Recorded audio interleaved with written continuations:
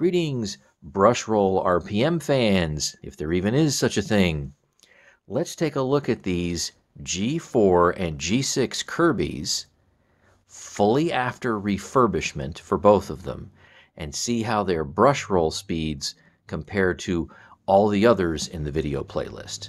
So let me flip these guys over and we'll start measuring. First up, let's go and test the G4, and of course, it's going to get loud.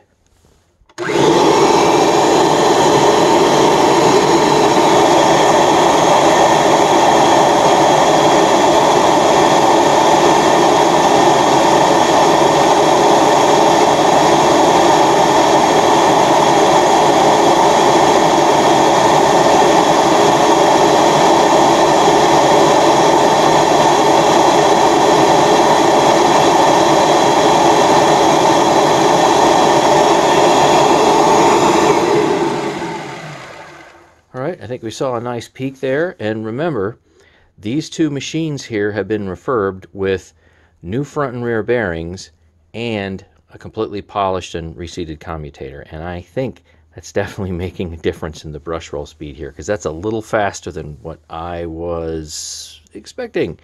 So let's move over to the G6 and we will repeat this test.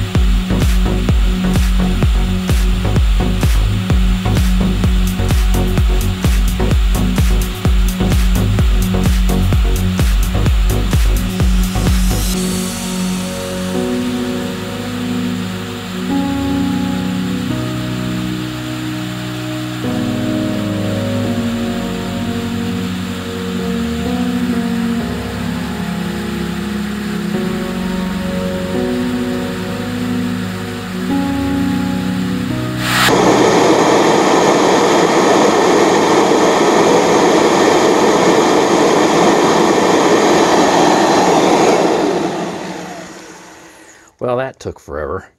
Had to warm this guy up a little bit. My basement's still fairly cold, and of course, I pre warmed up the G4, so it just didn't take so long.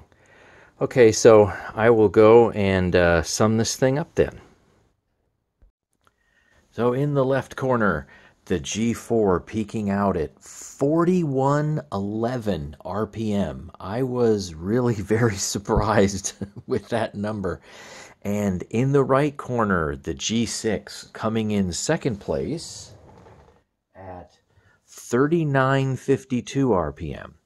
Now, I have already retested the G6 on the airflow box, and it got a whoppingly good 135.1 CFM. I don't believe that the G4 can actually match that simply because it's got different emptor, different bag and a different fill tube. So the inner bag is exactly the same. I, I use the same inner bag throughout all my tests.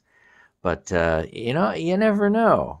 But um, that's some pretty amazing uh, results after refurbishment. I'm just, I'm really, really happy with the way everything turned out. Of course, both machines are shinier but uh, wow, I'm I'm really impressed with the brush roll RPM of the G4, and of course it runs a lot smoother now. So you know, every 20 years or so, something like that, take your Kirby's, tear them down, uh, replace the bearings, polish everything up, commutator, aluminum, whatever it is, and uh, you'll have them you know ready to go for another 20 years.